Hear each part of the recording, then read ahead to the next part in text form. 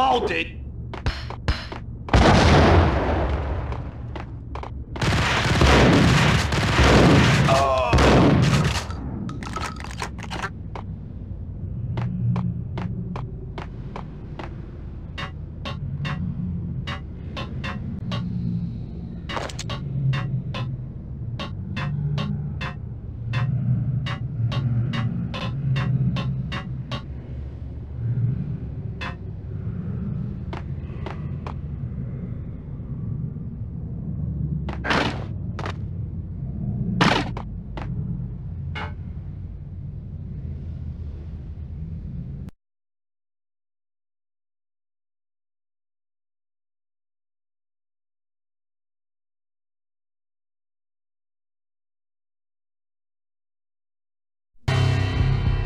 The backstage area led to Lupino's inner sanctum. The hot air inside was like an invisible wall, thick with incense and something else, a sickly sweet smell that made you gag.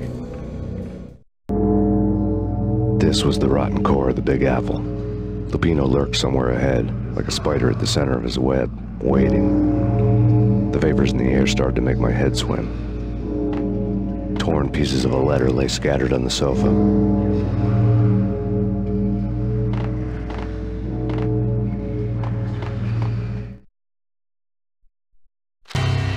Punchinello had threatened Lupino in writing. The note had been torn to pieces, bloody fingerprints all over it. Don't want you to think that one of my boys is not playing with a full deck. Shape up, Jack. We are running a business here. I'd hate to send the trio to strong-arm you. The trio were the Don's notorious henchmen. It was obvious that Lupino hadn't been intimidated by the threat. Lupino's notes covered the table. Lupino was crazy, all right. The table was scattered with notes of demented arcane nonsense written in rusty blood, a mishmash list of demons, devils, and dark gods evoked. Beelzebub, Asmodeus, Baphomet, Lucifer, Loki, Cthulhu, Lilith, Hela, blood given to you all. He was after that old Faustian deal, your soul for power and fortune. Just sign on the dotted line with your blood. Lupino's notebook lay on the pedestal. Jack Lupino was crazy, all right. Mythic wolves, let loose to devour the sun and the moon. Lupino is the wolf. I'm Mr. Beast, the big bad Fenris wolf. I'm the end of the world man, wearing the flesh of fallen angels. After Y2K, the end of the world had become a cliche. But who was I to talk? A brooding underdog avenger alone against an empire of evil, out to right a grave injustice. Everything was subjective. There were only personal apocalypses. Nothing is a cliche when it's happening to you. The flesh of fallen angels! Come to me all! Astaroth, Beelzebub, Asmodeus, Baphomet, Lucifer, Loki, Satan, Cthulhu, Lilith, Hela! Blood to you all! Secrets living under the skin of reality. I've seen it. The corruption of flesh.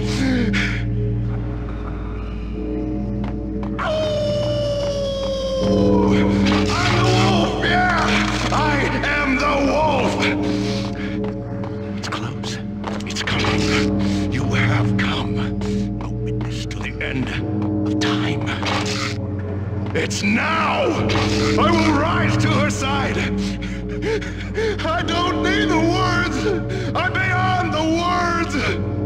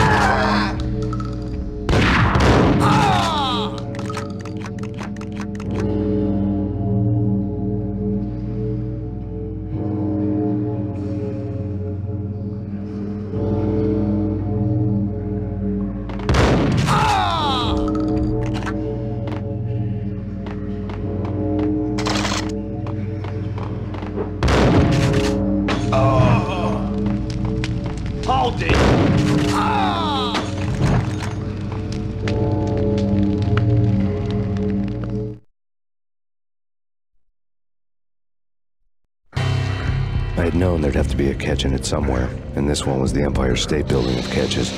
Lupino was pumped up and dying to go 15 rounds with a mutant alligator. And then he started this spooky monkey talk, straight from a bad dream. Mine. I have tasted the flesh of fallen angels. I've tasted the devil's green blood. It runs in my veins. I've seen beyond the world of skin, the architecture of blood and bow and arrow. Death is coming! She is coming, and hell follows with her. This is the twilight winter. I am ready to be her son. Her time is now, and all who stand in her way must die!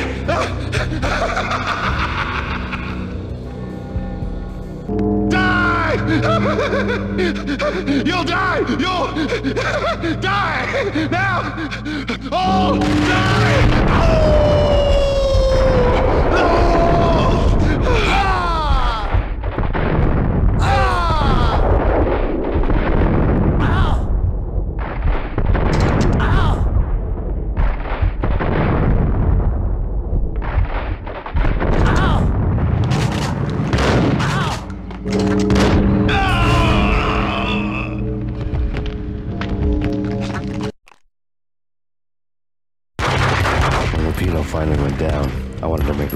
he'd stay that way. V was a bad monster. Turned them into friggin' zombie demons from outer space. I think he's dead already. Huh? And that's when it happened. But dead or not, you've got the wrong guy. In stepped this knockout femme fatale holding a gun to my face. I returned the favor.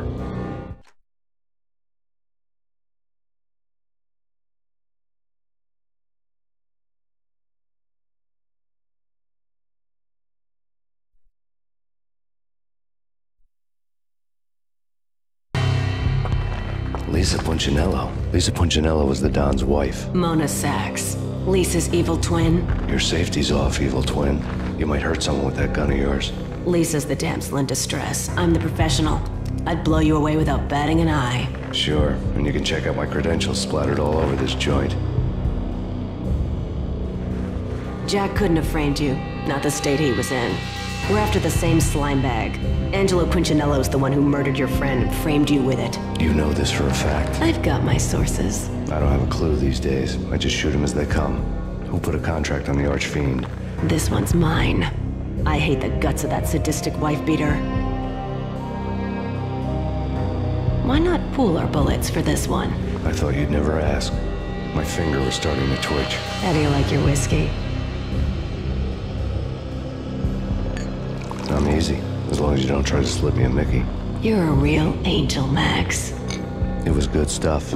Tasted sweet as honey going down. Nothing personal. Can't risk you going berserk and getting Lisa killed.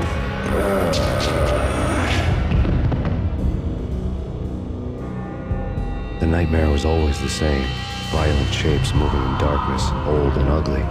The killer's mad laughter was a riddle filled with wicked innuendo. Somewhere, the baby was crying.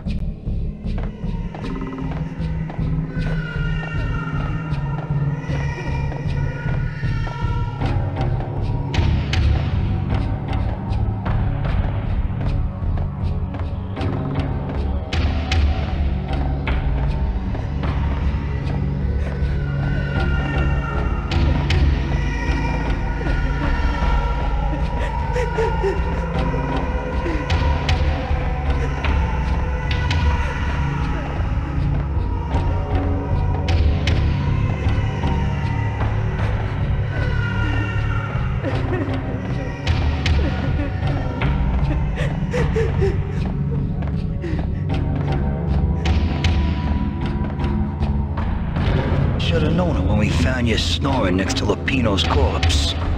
A comedian, huh? The pictures were.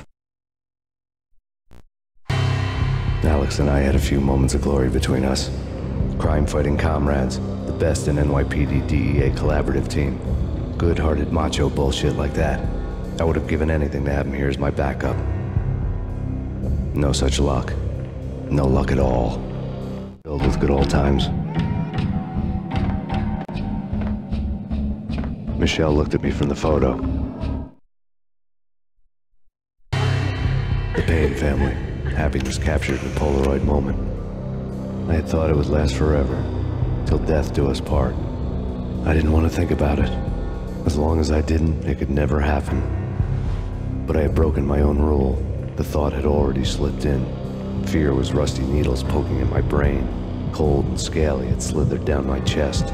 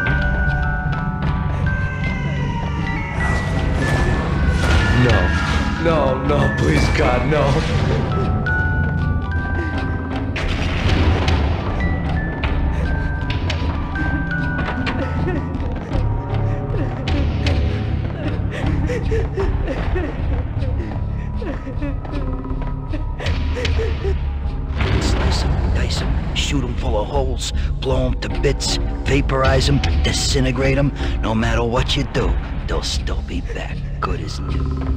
Michelle's diary lay on the table. Michelle was working part-time in the district attorney's office. Her diary was open on today's entry, her handwriting all pretty curves. An army dossier found its way to my desk yesterday. Valhalla? Isn't that a Norse myth? Something about Vikings? I tried to tell Max about it, but he was busy, that cute frown on his brow. Guess it's nothing, just a mix-up at the courier service.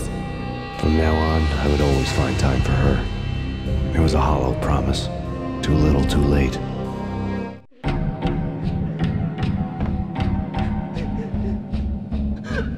Max, no, please, Max. Why? I didn't mean to. I'm sorry.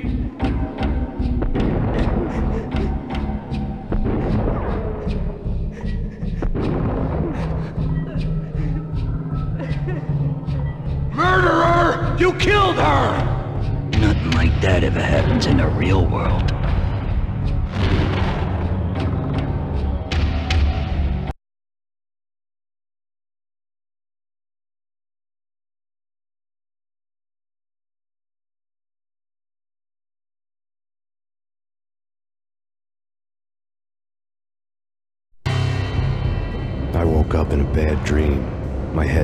Two sizes too small for my brain, Max Payne, I envy your name. and the killer was smiling. Pleased to meet you. I'm Frankie the Bat Niagara. Niagara, as in you cry a lot. He had a baseball bat and I was tied to a chair. Pissing him off was the smart thing to do.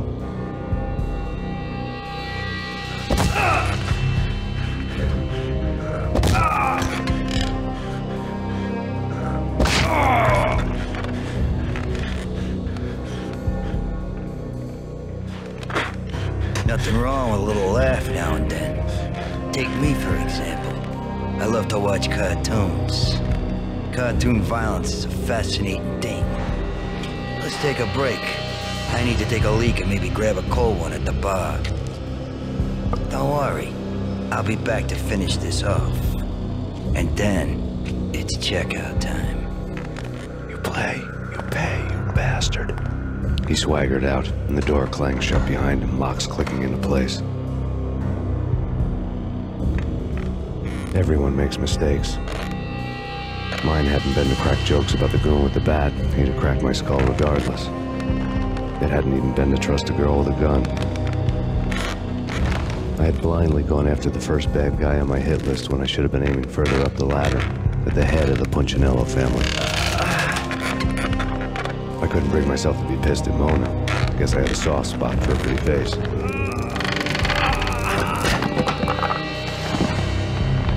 Somebody decides to play baseball with your head, you tend to get sore. They had dragged me back to the basement of Lupino's hotel. I was beaten, bruised, and blue. I felt like the chair I had broken to get free.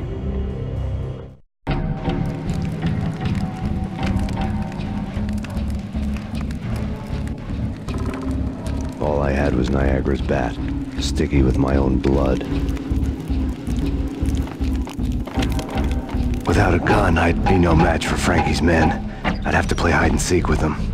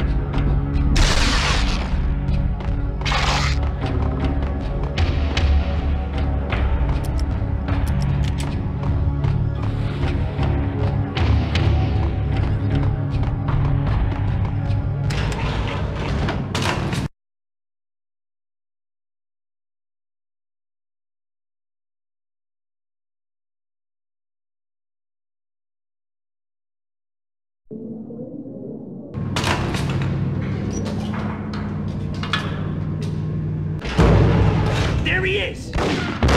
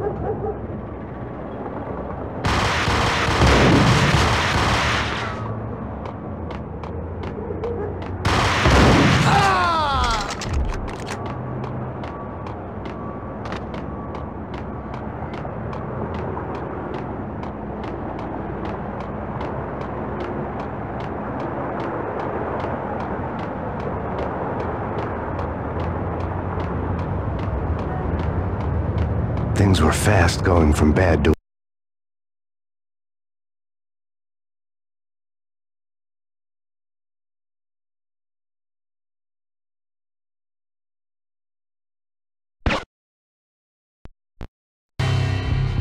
The men in blue had come and gone. They had decorated the place with chalk outlines and tied it together with yellow tape. The cops who had stayed behind were dead. Frankie, his boys, and I had the place all for ourselves.